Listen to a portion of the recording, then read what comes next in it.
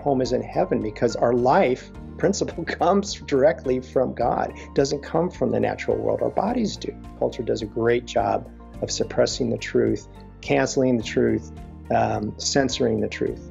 It's God's church. He created the Catholic Church. Science and faith are are compatible. Actually, you couldn't have science without a knowable universe. God's in charge of life does not come from the natural world. That's a huge game changer in the debate.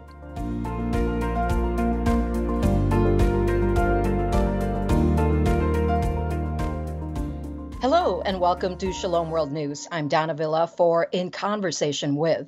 Our guest today is a practicing board certified emergency physicians all over who noted a rapid rise of depression and suicides and other behavioral disorders in the youth. He searched for a solution, and the truth led him to Father Robert Spitzer's Magis Center in 2015, where he is currently a board member.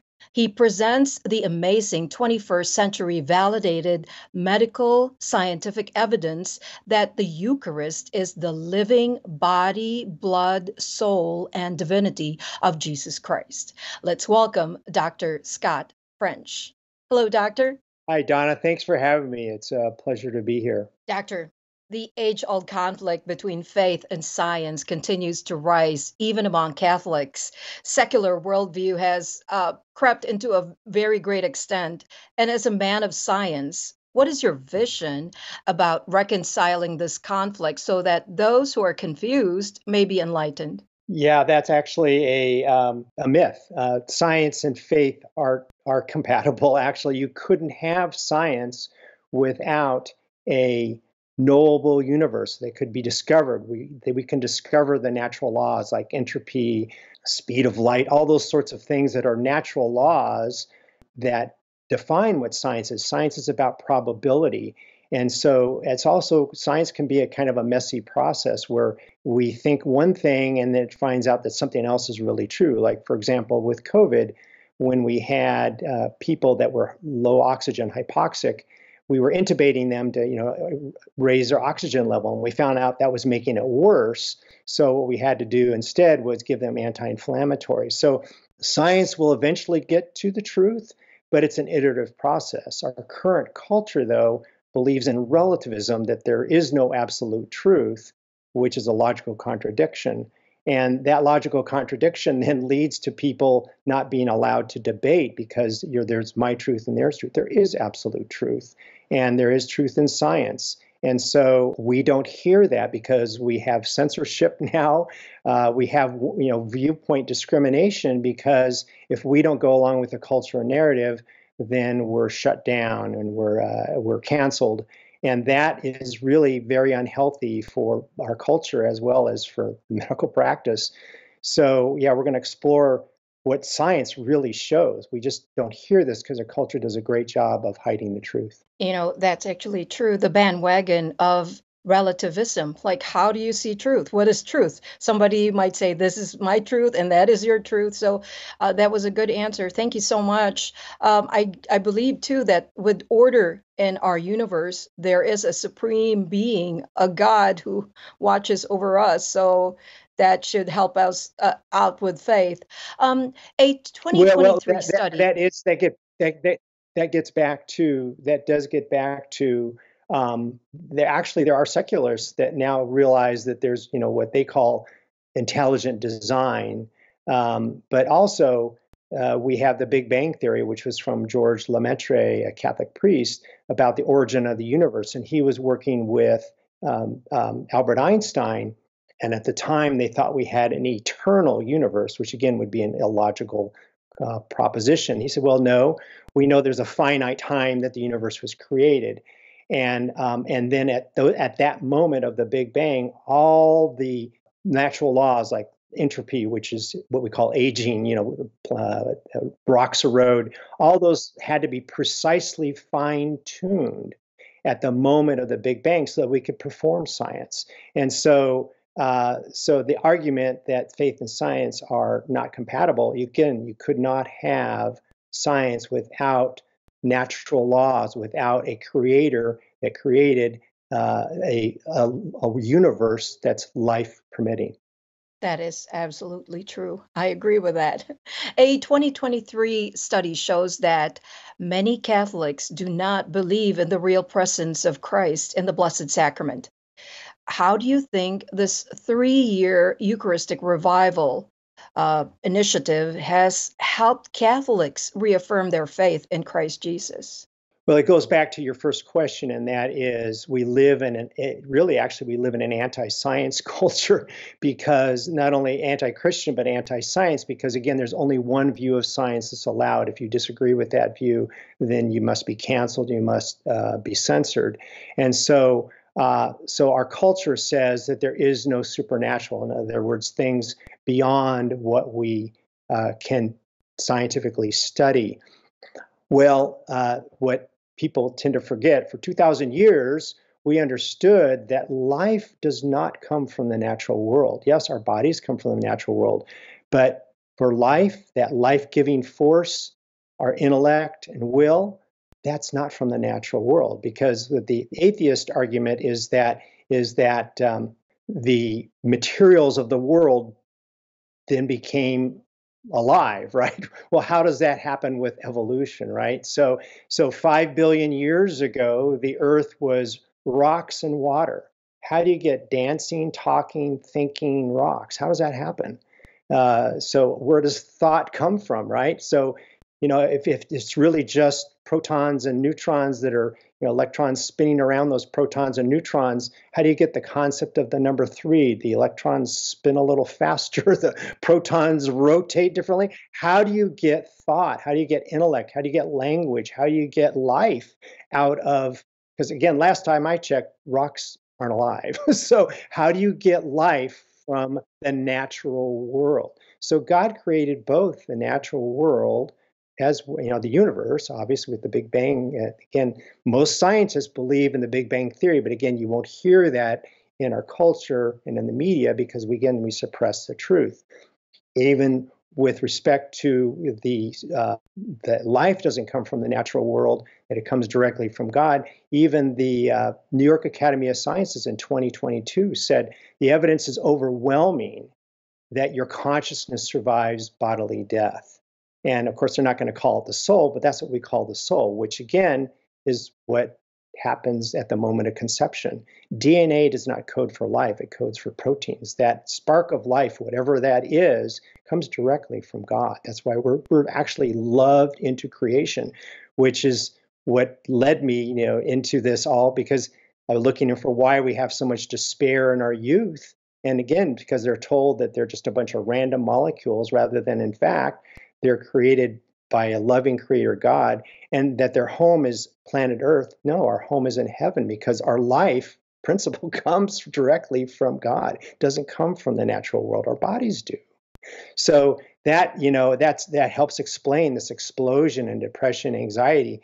Um, and so that's really what's so important about how true science will always point to to the truth. And we now have scientific evidence with the Eucharistic miracles, the 21st century Eucharistic miracles, the near death experiences, Big Bang Theory, and then the Shroud of Turin. They all relate to the same thing that God's in charge of life does not come from the natural world. That's a huge game changer in the debate.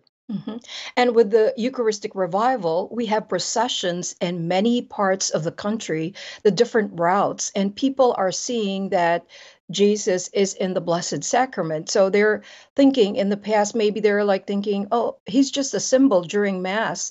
So it's a way of helping them understand, like the when we do the procession, Jesus is really with us. Right. So so exactly. The Eucharist is Jesus Christ, right? Jesus Christ is the church, right? And the body of Christ when he says in Matthew, This is my body, because he's the second person of the Trinity. And we just said it's that God created the material universe and also the immaterial universe, then he created life. When he breathes, you know, in, in Genesis, he breathed life, you know, and even in, in um, other parts in the Bible, it talks about how, you know, a life giving soul.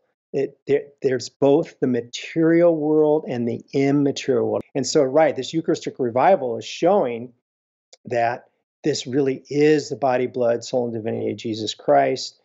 Because again, the Eucharistic, 21st century Eucharistic miracles, the blood is type AB blood, the same blood type on the Shroud of Turin. It's also the same blood type that's in the Sudarium of Oviedo. It's also in every 21st century Eucharistic miracle. And it's living blood and living heart tissue and with living white blood cells. And white blood cells only exist outside the body for 30 minutes. And in some cases, these things are 10 years old, living heart tissue. So it's changing, you know, because again, now science, we God had to wait for us to have the 21st century science to show it. So this is it's four in four instances for the 21st century, we have evidence that God's again, God's in charge of life. And and the Eucharist truly is fully human, a fully human nature and a fully divine nature. And that heart is Mary's heart, right? Because that's where the heart, because heart, God doesn't have, he's complete, doesn't have a heart, doesn't have blood.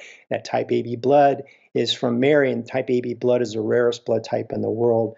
Uh, but it's in 12% of people of Jewish descent. So we have all this scientific evidence, and I go around, uh, particularly in the San Francisco diocese, but also other uh, other across the country, and getting this to our kids who have never been exposed to this, even in some of the Catholic schools. And it's transformative because, again, truth is binary. There either is a God or there isn't. You know, there, there, there either was a resurrection or there wasn't. You're, you either have a soul that gives you life or you don't. And and science actually points to that. You just it, we never hear it because our culture does a great job of suppressing the truth, canceling the truth, um, censoring the truth. The Shroud of Turin, you've talked about that um, earlier, is the most significant scientific evidence that supports that Jesus rose from the dead. So you had a profound experience with the Shroud of Turin in 2015. Can you share your findings and share your personal experience at that time? Sure. So uh, in 2015, the Shroud of Turin was able to be viewed. I always had an interest in the Shroud of Turin science, you know, being uh, former faculty and you know just loving medicine and everything science. Uh, and so my wife and I we went on our first ever Catholic pilgrimage, and I didn't really understand uh, transubstantiation, the shroud, none of that. And, and the materials we got from the uh, Catholic pilgrimage was uh, you know, it could be a medieval forgery, could be, uh, you know, we're not sure the uh, materials we got from the Vatican. But when you're standing in front of the Shroud of Turin, which is really the burial cloth of Jesus Christ, it's 14 feet by three and a half feet, and it's the uh, and that image, which is actually a nuclear image on the upper 0.2 microns of the flax garment, the burial cloth, which is they had in those days. They didn't have cotton in those days; they used flax. Um, and that gets into why the 1988 carbon 14 dating uh, showed it to be in the Middle Ages because they repaired it from the fire in 1532 with cotton. and so they, they found that those samples actually had cotton in them. So they're dating uh, the Middle Ages repair in 1534. So uh, when I'm standing in front, you know, I'm an ER doctor, so I've seen lots of trauma, and I'm looking at like a, doctors were also trained as um, at uh, really good at pattern recognition. And then in um, two days later, we were in Lanciano, Italy, which is the Eucharistic miracle of 750 AD. So that uh, also is type AB blood, still is existing 1350 years later, and it's muscle tissues, heart muscle tissue, just like the 21st century Eucharistic miracles. So there's so much other evidence. The pollen uh, throughout the shroud, if you look for the burial cloth, uh, they were able to identify every every area except where the crown of thorns was. And when they uh, then went to Jerusalem, it matched the pollen samples from a plant that only grows near Jerusalem. Uh, the nail, just like it's described in, in the Bible, with the uh, going through really the risk because they didn't have a they didn't have a word for wrist is at the junction of the hand and wrist, the only thing that would support the body. And that's four fingers. When you drive a nail through your median nerve, it causes it to curl. I mean, there's just the evidence goes on and on. I would take a, an hour and a half program to, to go over all the evidence. Again, most scientists now believe it truly is the burial cloth of Jesus Christ. But again, you won't, if you do a Google search or whatever, you won't find that. And so what happened to me is I started looking at the literature because I know how to do research. You know, having been a professor at Stanford and other medical schools, I know how to find the truth in in science, and it's overwhelming. It's just that no one knows it because again, our culture doesn't want to tell the truth. A million dollar uh, prize if you can reproduce the shroud. You can't because it's a nuclear image. It's on the upper 0.2 microns. It's a 3D image. It's a perfect image. And, and just as described by John, who's the only witness of what happened at the uh, at the crucifixion, uh, that you know wrote about it. It's a great time to be alive because science actually does the opposite of what the culture claims. It actually affirms all the the teachings the Catholic Church is teaching for two thousand years. He really did uh, undergo horrific uh, torture uh, for crucifixion he really, really is evidence of the resurrection, and it's just as described in the Bible. So, yeah, it's possible that aliens from outer space did, you know, uh, did all these things. They'd also have to travel through time, right? Because the 750 Eucharistic miracle, there was one in 1300. There's been many Eucharistic miracles, and now in the 21st century. So, how did it impact you just looking at the shroud and being a man of science? Well, I knew there was more to the story, and that's what led me to do this additional research and that's what you know. And then the Holy Spirit led me to Father Spitzer uh, in 2015 as well. And so uh, ever since then, I've been going around uh, presenting this, and uh, and again, you, you, know, we're made for the truth. So when people hear the truth, they go, "Oh, this suddenly this stuff makes sense." You know, science is logical. We live in, you know, there are natural laws. So our bodies follow natural laws, but our souls, because they're not part of the natural, do not follow the natural laws. So basically, that's why we have an immortal soul. Uh, I tell this to the kids: go home and tell your parents, you know what? I have an immortal soul. We're basically loved into existence. That'll change a lot of this anxiety, depression, uh, suicide attempts, because that's what we tell our kids. Ah, you're just, you know, just a you're just a bunch of random molecules. No, we were loved into existence, a creator to the God that from before time wanted us to be uh, to have a life and join him in heaven, our true home. Yes, the master creator is now showing us. yeah, we now have the science to, to, to say to show it. So again, it's a nuclear image. It would take six to eight billion watts of pure uh, laser light energy over 140 billionth of a second emanating from every part of his body, just like it's like just like shown in the transfiguration. The hands, so this is one of the things I noticed on the shroud, is the hands seem to be awfully long. The fingers seem awfully long. It's because you're seeing the bones of the hands. So you're seeing the outside surface as well as the inside. We don't have that technology today. So yeah, it's just if you just explore the science, you know, again, truth is binary. Several 21st uh, century Eucharistic miracles actually confirm the presence of Christ in the Blessed Sacrament. Could you uh, share your insight on these miracles and their impact on the people's faith in this era? Yes. So again, we're made for the truth. Remember, we're made in the likeness of image God, which means we have rational minds. And that's really what's been under attack right now, particularly in our education system we you know teach relativism which is a logical contradiction. You know it's absolutely true that there is no absolute truth right? A logical contradiction. And so our, when you tell people the truth uh, they have rational minds. They go oh okay that makes sense. Things have to make sense to us. Important to have uh, q&a sessions in all these. But basically what's happening is uh, around the country we're going to give these talks and father spitzer does too is uh, people are connecting the dots.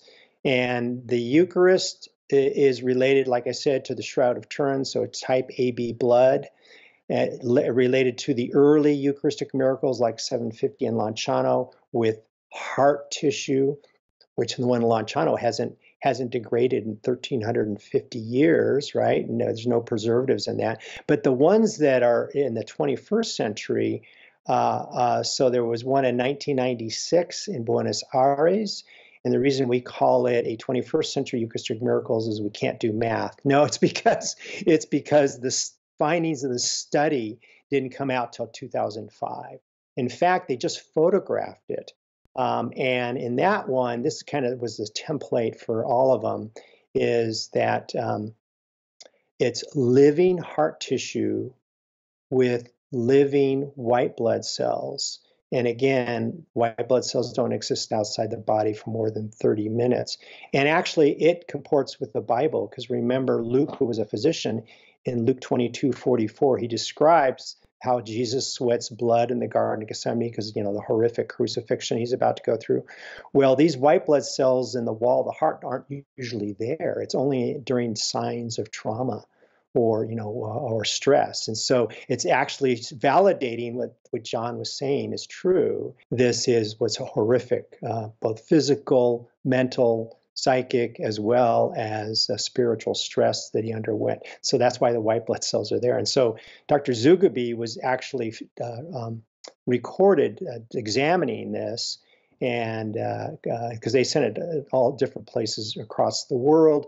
Almost all these miracles are, are looked at by non-Catholic scientists. They want non-believers to look at this because they don't want it to be, oh, you guys just you know made this up. And he said, so I'm seeing living heart tissue uh, in signs of agony, like you know, something would be around the chest or some other, you know, some sort of, you know, blood issues, cells which shouldn't exist there. Uh, where did you get this? And they said to him, a piece of bread, you know, the Eucharist. He says, I don't believe it. so, and then of course he became a believer. But yes, so that's that's kind of the classic template. So a Eucharistic miracle is yeah, it's and so and so there's all, there's more and more of these all over. Uh, the next one was in uh, 2006, October uh, 22nd, 2006. And then the next one is in Sokółka, Poland on October 12th, 2008. And then the last one, God has a sense of humor. It's on December 25th, 2013. Now, there's something about December 25th that rings a bell. I mean, that's what that's how God is. I, look at this; it's shouting at us.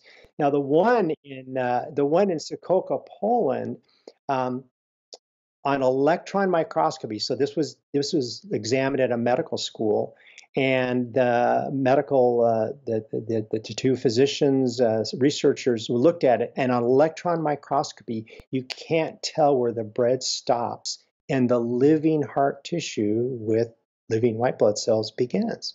And so of course they were they're attacked by the media and all that you know the church killed somebody and put type ab blood and and all this. And so they almost lost their jobs. Well they sent it to another medical school and the same thing on electron microscopy. So God is like saying, uh, let me show you something. You want to see real science? Let me show you something. So living heart tissue uh, that's still alive with living white blood cells, um, uh, pretty compelling. And so when people hear this, they go, oh, okay, I guess there's more to it. And we can just go through all the connections. It also in John's gospel, remember, talks about the uh, the rolled cloth on the side. Well, we have that. That's a Sudarium of Oviedo, and they can date that. Uh, there's a provenance back to 600 AD. And a provenance means from one bishop to the next. Well, there's 120 bloodstains on that. That uh, uh, so Shroud of Turin has 120 blood stains on the head area because that was that Sudarium, that face cloth was wrapped around the head after he was pulled, taken off the, uh, wrapped around to absorb the blood. And um, 120 blood stains, 70 on the front, 50 on the back. And if you digitally overlay the Shroud of Turin with Sudarium Oviedo, they match. So again, uh, space aliens travel through time i guess? I mean you know what's the other explanation? So that's what we talk about in science is what's the best alternative explanation? We can't explain it because it's a supernatural event. So we're seeing the effects. You can't see. Science is about what's observe uh, you can observe we can observe but we can see the effects. So the shroud of turin is the effect of a supernatural event. The 21st century eucharistic miracles are the, uh, uh the uh, observed effect of a supernatural event.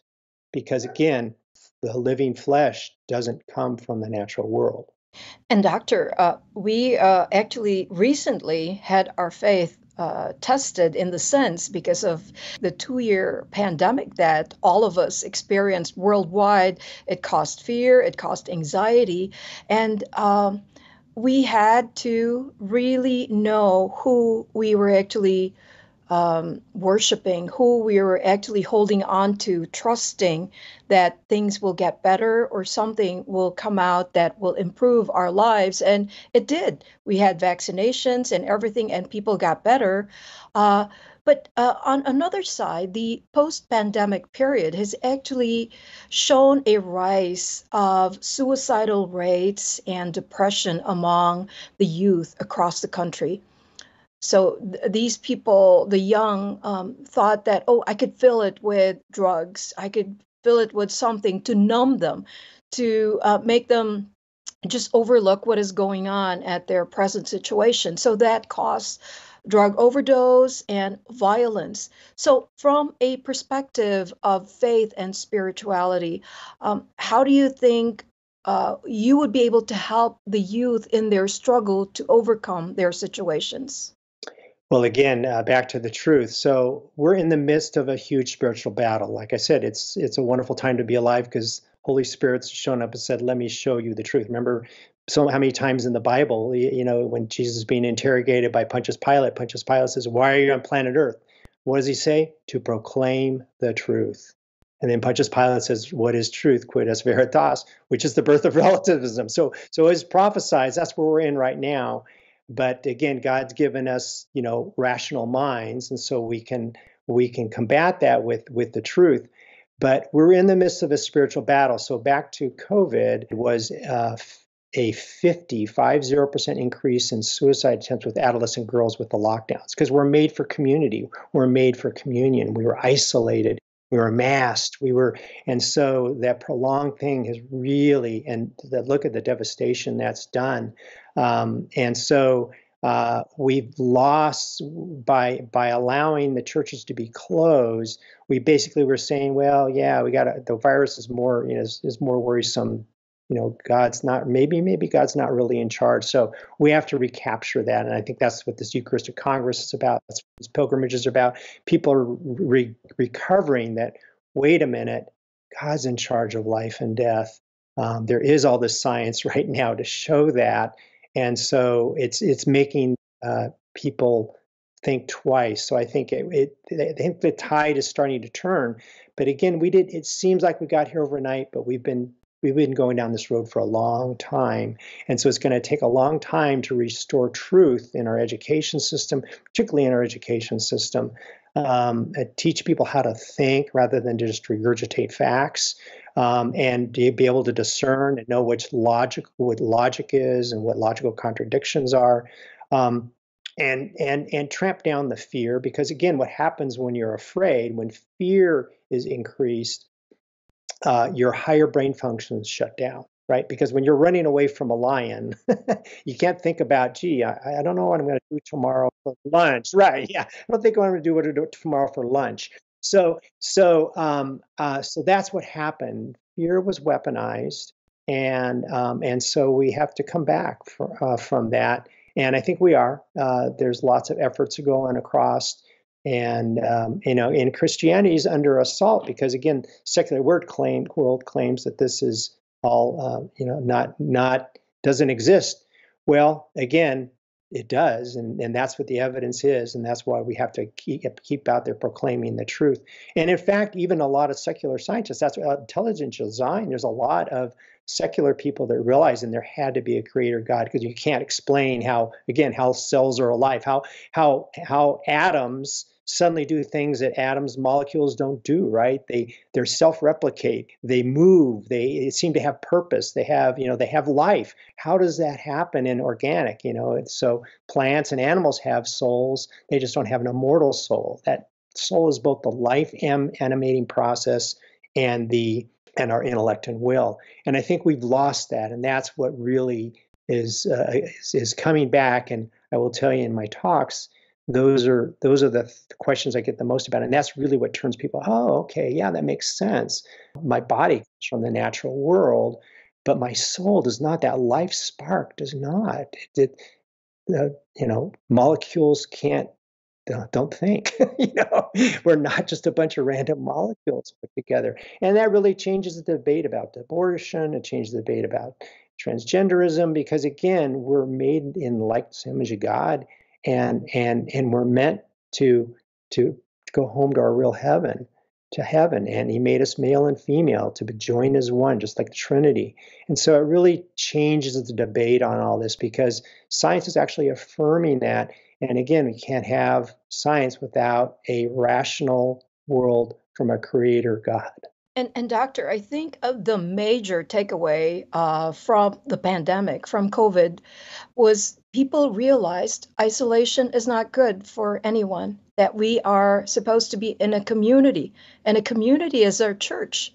It's not the building; it's all of us together. So, speaking about community, this three-year-long Eucharistic revival will mark its conclusion it has been almost three years. Wow. will mark its conclusion in July of the revival on the faith and the lives of the Christians? And what are the ongoing plans uh, to take this spiritual benefits forward?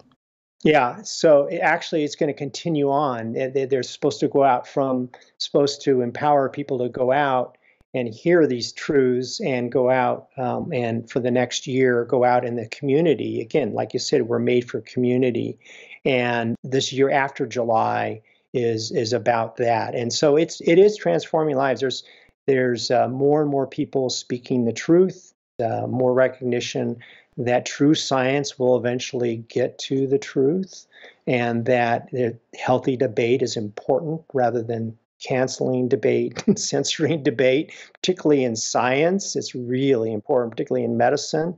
We don't debate treatments and stuff, uh, we can cause a lot of damage. And so I, I think that that's uh, really important, really important is going on. There's lots of people that are on fire over this. Uh, and again, we've been through this before. Every 500 years, there's a crisis in the church. And again, it's lasted for 2,000 years. The gates of hell will not prevail against my church because, again, it's God's church. He created the Catholic Church. No matter what happens, it will it won't go away. Realizing that we're not in charge of ourselves, right? I mean, we have free will. We can do what we want, but our, our we're meant for heaven. We're meant for community, like you said. Yeah, so basically, you're saying that the spiritual, one of the spiritual benefits from the Eucharistic revival going to the Congress is truth has actually surfaced more and it's now in front of people's lives, like saying, This are the truths that you actually have to see for yourself. Right. If they want to research more about it, then they could do that. Doctor, our conversation, we could go on and on. We could go for hours on, discussing because yes. you are uh, giving us a lot of information that we don't get to read about or hear about. And this will be uh, heard and seen by a lot of people worldwide. So thank you so much for gracing our show in conversation with. Um, and we um, pray that you will continue to be a voice for the Lord, an instrument of the Lord in preaching the truth about who He is and that we were created and meant to be for other people also. So thank you so much, Dr. French, for being with us. Well, thank you. And and remember in John 8, 32, and you will know the truth, and the truth will set you free. That's where we are today. The truth will amen. set you free. and God wants us to be free. So amen. thank you. Amen. Thank you. Take care. God bless you, doctor. God bless.